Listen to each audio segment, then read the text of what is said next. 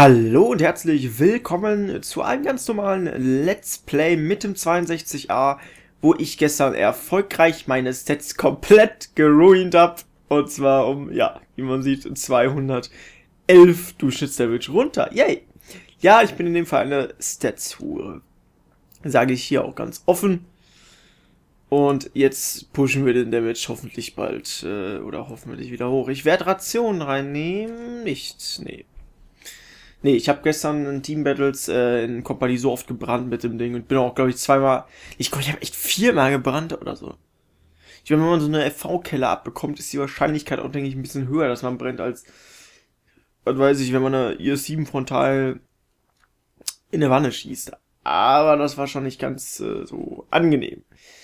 Ja, gestern war Fight Night und ich habe mal wieder festgestellt, dass Kompanie eigentlich einfach nichts für mich ist. Für mich Stats-Hure, ähm, ich habe immer im Hinterkopf meistens, dass ich in den Matches quasi meine Stats oder meine, meine, ja, meine Stats auf dem Panzer, nicht meine allgemein, weil die allgemein, pff, ja, ähm, nur auf dem Panzer halt. Und das, das, äh, ja, habe ich dann immer so im Hinterkopf und, äh, ja, ich denke, ich werde mal einfach kurz was davon erzählen, für die Leute, die nicht da waren. Ich habe gestern auch gestreamt. Äh, anfangs mit der Truppe von Alcaramba, weil Lucky Few noch nicht am Start war, weil noch CW und so weiter und so fort.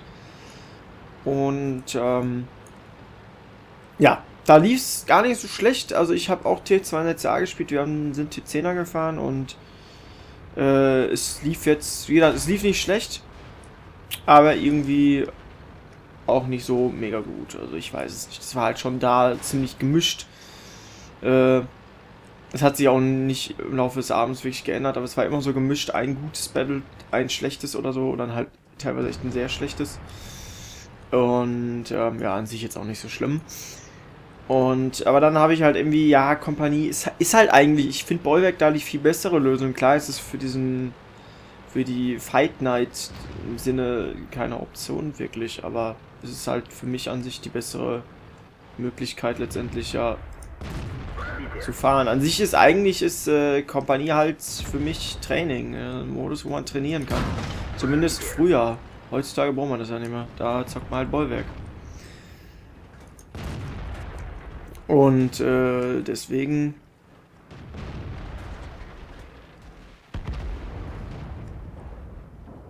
deswegen reckt. Direkt 140er. Äh, ja, habe ich da so ziemlich schnell so ein bisschen den Spaß verloren und äh, dann habe ich mich aber nochmal aufgerafft quasi. Ups, das hätte ich jetzt nicht gedacht. Und bin mit, äh, ja, der Lucky Few Truppe oder Teil davon, war ja nicht ganz so viele dabei, mit dem Arms,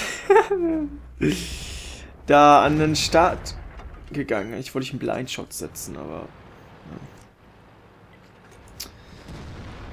Ja, und das war auf jeden Fall, es lief genauso äh, von meinen, äh, es, hat meine Sets genauso ruiniert, aber es hat einfach abnormal viel Bock gemacht, weil es halt genau dieses war. Wir waren halt meistens alle recht, oder wir waren, wir waren ein großer Teil recht gute Spieler und dann hatten wir halt äh, auch noch so, ich sag mal, ein paar random Leute dabei, die halt einfach gefragt haben, ob sie mit konnten oder so. Boah, bleibt doch mal da stehen, mein Gott. Und ähm, ja, es lief halt. Wir sind ziemlich, wir sind nur Mediums gefahren, wir sind plötzlich das Medium-Set abgefahren. Unsere Heavys waren quasi 4 E50M, wenn wir vier hatten. Weil die wollten alle das Ding nicht spielen und ich hatte ihn nicht. Und hätte ihn da, glaube ich, auch nicht gefahren. Ähm, und bin da halt den ganzen Abend eigentlich 20 Jahre gefahren, weil ich dachte, ja, Kopf, verkauf, verkauf meine Sets. Das ist. Ja, Wayne. Lol. Ja, und äh, das habe ich dann auch so durchgezogen und es hat echt krass viel Bock gemacht. Also das hätte ich dann selber auch nicht erwartet. Und ich hatte so viel ja, Spaß quasi an diesen Battles.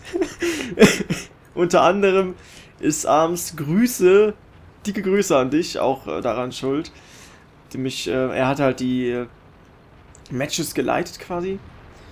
Und äh, hat sich dann halt aus Spaß einen getrunken quasi. Oder auch zwei. Oder auch drei oder vier. Ein paar Captain Morgens halt.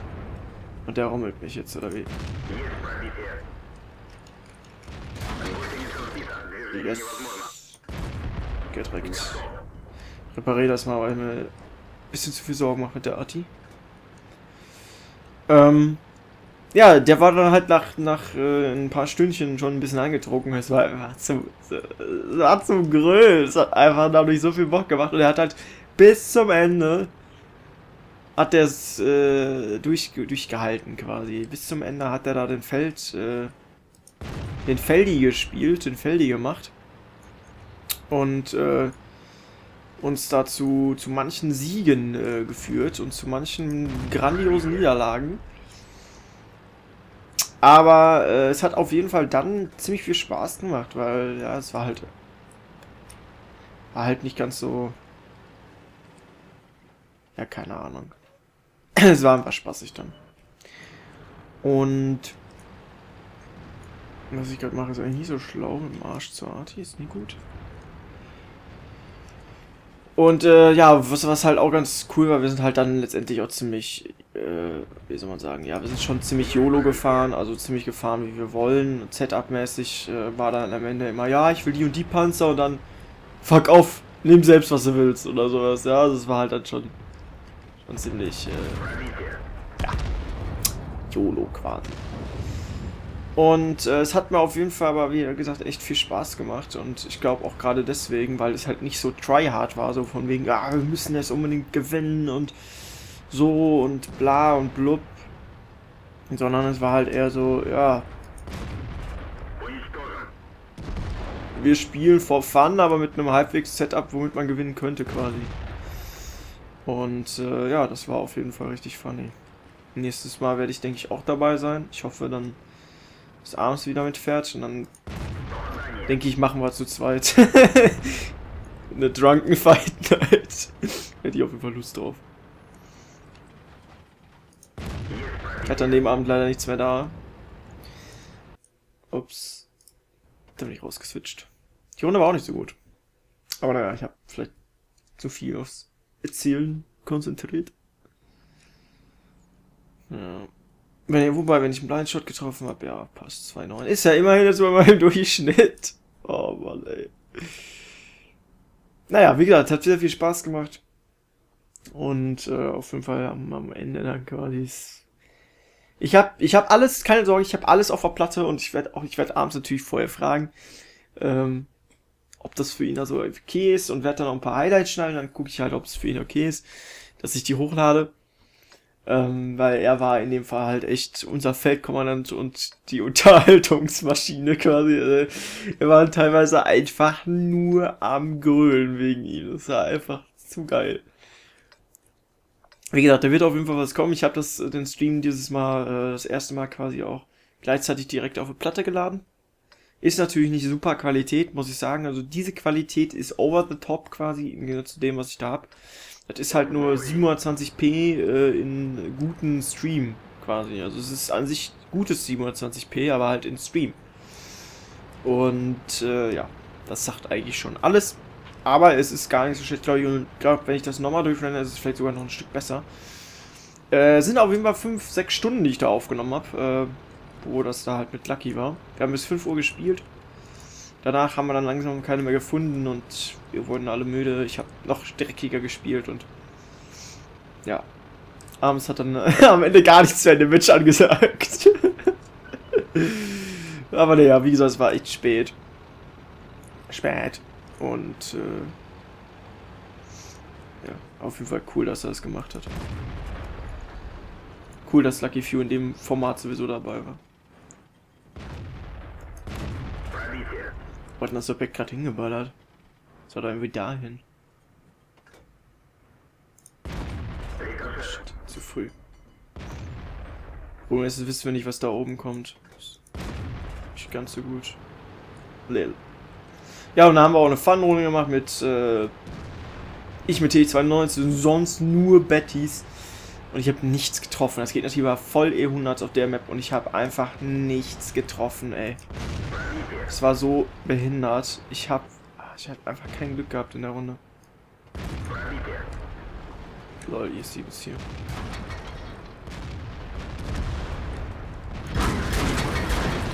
geil. Geil, ihr sieben. Danke. Für nichts.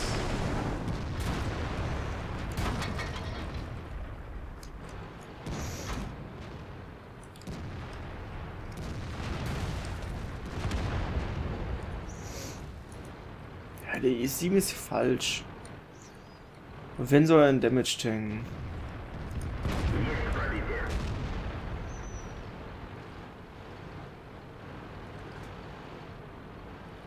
Er macht hier nichts. Das gibt's nicht. Und der Schuss fliegt hoch. Auf seine fucking Wanne. Ich, ich habe extra noch extra noch ein bisschen genauer geaimt, damit ich seine, seine Kette da treffe.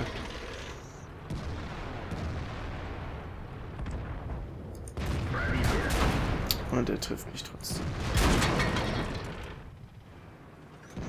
Ja, mit seiner Scheißwumme hier. Äh.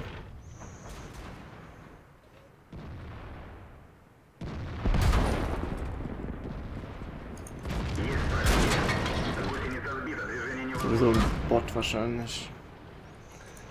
Ah, Mann. Ja, er könnte hier echt gut den Damage fangen.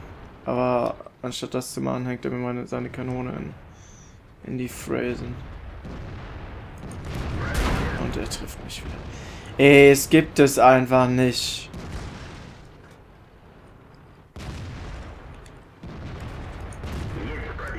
Mann, Mann, Mann, Mann, Mann.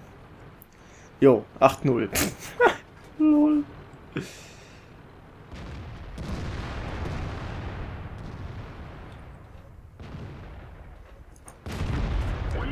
Lol, mit normaler Muni. Hätte ich nicht erwartet. Aber natürlich umso nicer.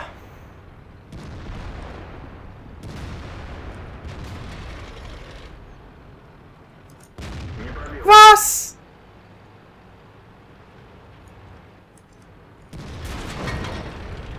Thanks, thanks, thankerino, objectorino for um, Reno me, uh, Reno, irgendwie sowas. Hat mir auch immer gut geschildert. Bitte kann, bitte, bitte lass, dass du nicht schießen kannst. Gut. Nice. Nice. Schade. 15 zu 1, aber ist okay. Ich habe meinen Schaden noch. Wenn ich da der Damage-Tinker war. Und der Damage-Dealer. Haha, ich hab gedealt. Ja, schöne Runde.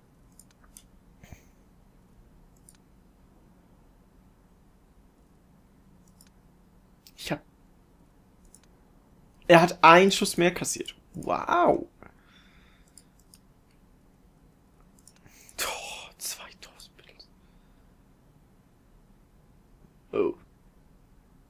Ja, sieht man schon, er tankt weniger Damage für Leute. Aber naja, läuft. 3,8 Damage. Schön.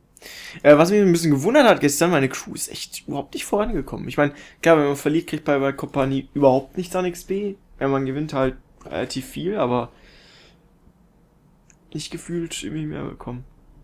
Aber naja, ansonsten würde ich sagen, es war's für dieses äh, Mal. Am, um 18 Uhr offensichtlich sehr, sehr pünktlich. Wenn nicht überpünktlich, äh, gibt's World of Tanks Generals auf meinem Channel und danach noch eventuell normales VOD und ähm, im Stream, also.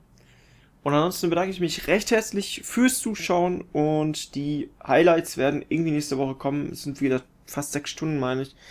Das muss ich irgendwie verarbeiten, die Highlights rausschneiden. Das wird werde ich wahrscheinlich 10 bis 15 Stunden brauchen, bis ich da die Highlights habe. Werde mehrere Videos dazu machen. Habt da auf jeden Fall richtig Bock drauf. Und ähm, ja, euch noch auf jeden Fall einen schönen Sonntag. Bis zum nächsten Mal. Tschüss.